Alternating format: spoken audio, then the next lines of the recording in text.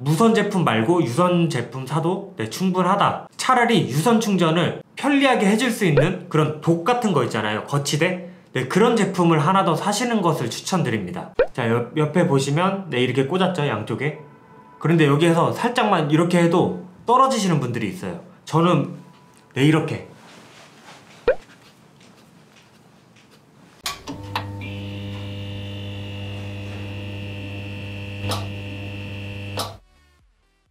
안녕하세요. 진블로그 채널입니다. 제가 에어팟 2를 잘 사용하고 있잖아요. 에어팟 2를 잘 사용하게 된 게 기존의 에어팟 1세대 그 제품을 잘 사용하고 있다가 그 제품을 여자친구한테 팔고 저는 에어팟 2 무선 충전 네, 그 제품으로 갈아타게 됐죠. 자, 그리고 이 영상을 보시는 분들 에어팟 자체를 가지고 싶거나 에어팟 1세대를 지금 현재도 사용하고 계시거나 에어팟 2 무선 충전, 유선 충전을 고민하고 계시거나 뭐 이미 에어팟 2세대를 구입해서 사용하고 계시거나 아마 이런 분들이겠죠. 그 중에서 제가 사용하고 있는 네, 이거 에어팟 2세대 무선 충전을 사용하고 있는 입장에서 영상을 한번 만들어 봤습니다. 무선 충전.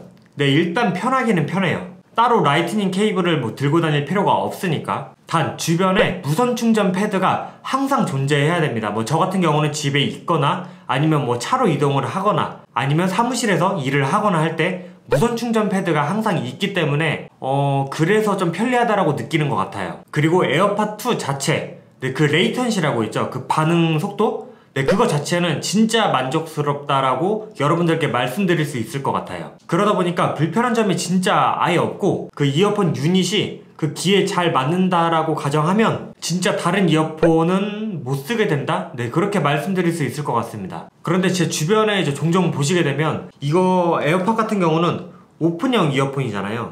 네, 오픈형 이어폰인데 canal형이나 in-ear 방식의 이어폰을 선호하시는 분들이 좀 있더라고요. 그래서 그런 분들은 에어팟 성능이 뭐 아무리 좋아진다고 하더라도 막 주변 소음들이 들리다 보니까 그거 자체가 불편하다라고 하시는 분들이 많이 있더라고요. 그리고 또 다른 분들은 에어팟을 사용해보고 싶은데 이게 귀에 안 맞는 거예요. 막 귀에 이제 걸게 되면 조금만 움직이면 떨어진다든지 아니면 좀 과격한 운동을 하면 뭐 떨어진다든지 그런 분들은 사용하고 싶어도 이게 귀에 안 맞으니까 네, 사용할 수 없는 분들 네, 그런 분들도 좀 봤습니다. 그런데 에어팟이 네, 귀에 잘 맞는다 하시는 분들은 뭐 다른 이어폰 안 보셔도 될 것 같습니다. 네, 이건 진짜 진심이에요. 그리고 또 음, 그 이어팟이라고 그러죠. 옛날에 옛날 방식 그런 거를 이제 매일 착용을 하거나 아니면 일반 이어폰을 매일 착용하고 다니는데 에어팟을 사용하고 있지 않다. 그런데 지인들의 에어팟을 빌려가지고 귀에 꽂아보니까 아 잘 맞는다. 그리고 막 아무리 흔들어도 떨어지지 않는다.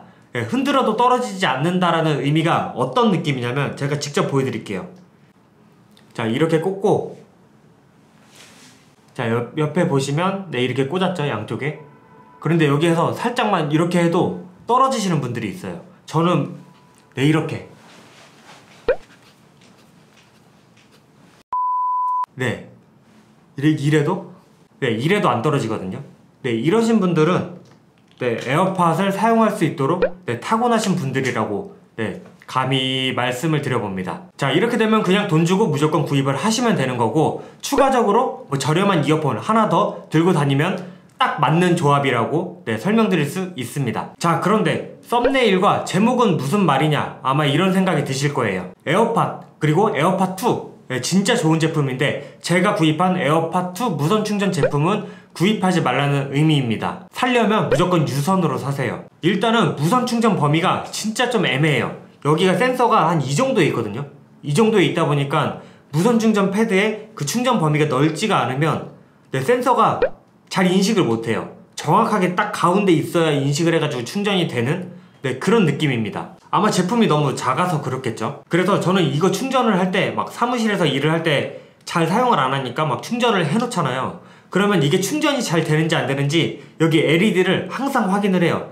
보통 무선 충전을 한다라고 하면 대충 패드 위에다가 딱 던져놓으면 그 충전이 돼야 되는데 이 제품은 충전이 되는지까지 확인을 해야 되고 제가 실수로라도 무선 충전 패드를 쳤다. 그럼 얘가 살짝 틀어지잖아요. 그러면 충전이 바로 안 되는 현상이 엄청 잦게 확인이 되었었습니다. 자, 그리고 이게 충전이 되는지 여기에 LED에 불빛이 나오긴 하거든요. 그런데 이게 진짜 확인이 잘 안 돼요. 이 표시가 처음에 충전될 때 그때 잠깐 딱 불이 들어오거든요.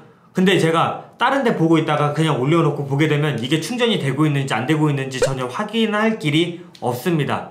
만약에 무선 충전 패드에서 충전 여부를 확인해주는 LED가 있다라고 하면 그걸 통해서 확인하면 되지만 만약에 그런 게 없다. 그러면 다시 올려놨다가 다시 충전을 하거나 아니면 아이폰을 켜가지고 현재 충전이 잘 되고 있는지 네, 그런 식으로 확인해야 되는 불편함이 있어가지고 이게 무선 충전 돼가지고 편리한 건가? 좀 어쩔 때는 그런 생각이 들더라고요. 자, 그러다 보면 이게 완충됐는지도 모르고, 그 다음에 충전이 얼마큼 됐는지도 모르고, 그런 거 확인하기도 되게 까다롭고, 이러다 보면 어떤 일이 발생하느냐? 네, 항상 충전기에 올려놓는, 네, 그런 상황이 발생을 합니다. 뭐, 여기까지는 좋아요. 자, 그러면 뭐가 문제가 되냐?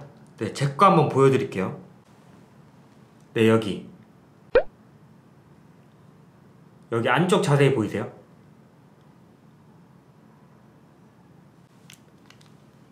이거 빼고 또 보여드릴게요. 네, 이쪽. 요렇게. 네, 이거 보고, 네, 무슨 생각 하셨어요? 에이, 그러지 말고 그냥 사실대로 말해봐요. 에 괜찮아요, 괜찮아요, 괜찮아요. 에 괜찮아요. 에 뭐라 안 할게요. 에? 아니, 이걸 어떻게 보고 이걸 떼라고 생각하실 수가 있어요? 이게 뭐냐면, 에, 다 이게 떼라고 생각하실 수 있는데, 탄 거예요. 충전 때문에 이게 계속 충전하니까 이렇게 타버리더라고요 진짜 어이없지 않나요 이거? 저는 유선 제품 쓸 때는 겪은 적이 없어요 이게 그런데 이게 무선 제품이라서 좀 그러는 게 아닐까 라는 생각이 좀 있거든요 이게 무선 충전하게 되면 여기에 뭐 전류도 통하겠지만 이거 제품 자체가 조금 뜨거워지더라고요 여기에 바로 이제 밀접해가지고 막 전류가 이쪽으로 흐르니까 그래서 괜히 뭔가 찝찝하기도 하고 또 무선 충전 제품이 일반 유선 제품보다 좀 비싸잖아요. 돈까지 더 얹어주고 샀는데 좀 이런 상황이 되니까 조금 네 그렇습니다. 자 그래서 결론은 제가 에어팟 1세대 그리고 에어팟 2세대 무선 충전 제품 이렇게 두 제품을 사용해보고 나니까 무선 제품 말고 유선 제품 사도 네, 충분하다. 차라리 유선 충전을 편리하게 해줄 수 있는 그런 dock 같은 거 있잖아요. 거치대 네, 그런 제품을 하나 더 사시는 것을 추천드립니다. 아마 그게 저처럼 이렇게 스트레스 안 받고 막 충전 잘 안 되는 거 막 그런 거 신경 안 쓰고 훨씬 편리하게 충전을 하실 수 있을 거라고 네, 저는 생각이 됩니다. 그래서 오늘은 좀 이 이야기들을 제가 그래도 만족하고 쓰고 있기는 한데 이런 점들 때문에 만약에 다시 산다라고 하면 무선보다는 유선을 살 것이다. 네, 그런 관점에서 영상을 한번 찍어 봤습니다. 그런데 이 제품이 저만 이럴 수도 있을 것 같기도 해요. 그래가지고 시간이 되면 한번 애플 매장에 가서 이 현상을 조금 말씀드리려고 하는데 혹시 저와 비슷한 네, 이런 현상을 겪고 계신 분들도 있을 것 같은데 그런 분들이 있다라고 하면 네, 밑에 댓글로 남겨주시면 감사하겠고 이와 관련해서 또 궁금한 점이 있으시는 분들도 있을 것 같아요 그런 분들도 댓글 달아주시면 제가 바로바로 바로 확인해가지고 네, 댓글 달아드리도록 하겠습니다 오늘 영상도 도움이 되셨다면 밑에 있는 좋아요 그리고 구독 눌러주시면 네 감사하겠습니다. 그러면 다음 영상에서 좀 더 유용한 정보와 재미있는 리뷰로 돌아오도록 하겠습니다. 다음 영상에서 뵙도록 하겠습니다. 감사합니다.